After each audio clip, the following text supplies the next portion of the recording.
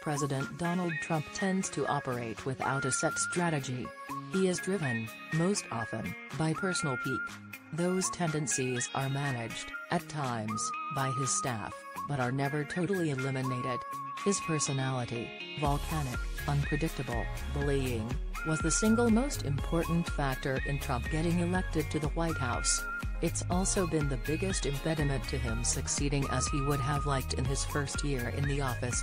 Take Tuesday's report in the Washington Post about Trump's frustration with his Supreme Court nominee Neil Gorsuch, Here's the key bit earlier this year, Trump talked about rescinding Gorsuch's nomination, venting angrily to advisers after his Supreme Court pick was critical of the president's escalating attacks on the federal judiciary in private meetings with legislators. The president worried that Gorsuch would not be loyal, one of the people said, and told aides that he was tempted to pull Gorsuch's nomination, and that he knew plenty of other judges who would want the job. At issue, according to the Post report, was that Gorsuch had called Trump's criticism of the federal judiciary disheartening and demoralizing in a get-to-know-you interview with Connecticut Senator Richard Blumenthal, a Democrat.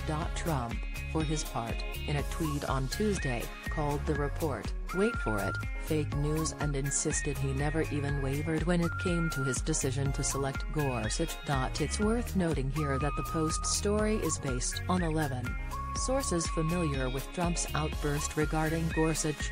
So, while I think it's worth noting the president's denial, his past casual relationship with the truth and the deep sourcing on the Post story suggest, at least to me, that the reporting is accurate.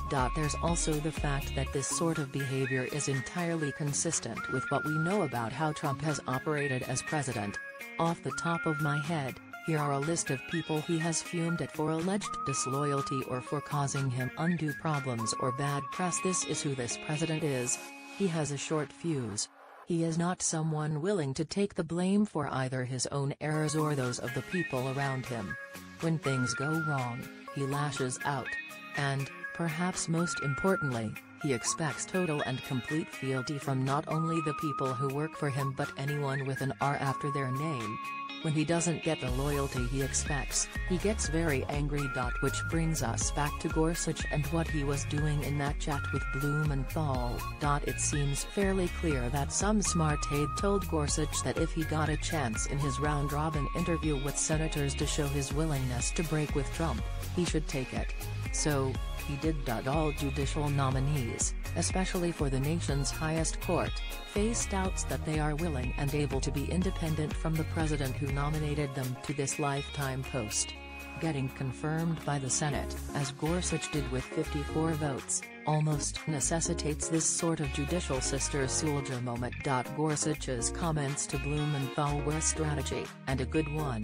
That's not to say Gorsuch doesn't believe what he said about Trump's comments on the judiciary just that his willingness to acknowledge those feelings in an interview with a Democratic senator was not an accident. That Trump either didn't see what Gorsuch was doing or didn't understand the strategy is indicative of how short-term his thinking tends to be when it comes to politics and how people treat him. Here's a quick look at how Trump thought about Gorsuch I nominated. Dash he owes me big time. Dash he said what about me? Dash I've got 100 guys would be thrilled to take his place. Dash who knows if this guy is even the right guy? Trump, this time, kept his unhappiness with Gorsuch private and was apparently mollified by the fact that a letter from Gorsuch praising Trump was found and shown to the president.